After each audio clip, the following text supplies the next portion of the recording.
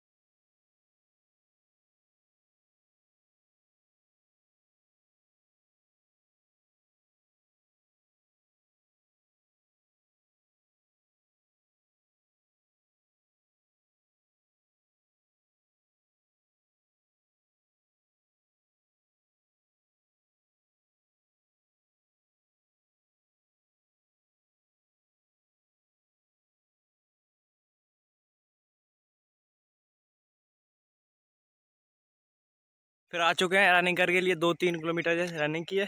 अब उसके साथ को बताएँगे कि रनिंग के लिए रनिंग के बाद कौन कौन सी एक्सरसाइज करनी चाहिए, बैठना नहीं चाहिए क्या नहीं करनी चाहिए, बताएँगे राम भाई के साथ, चलो।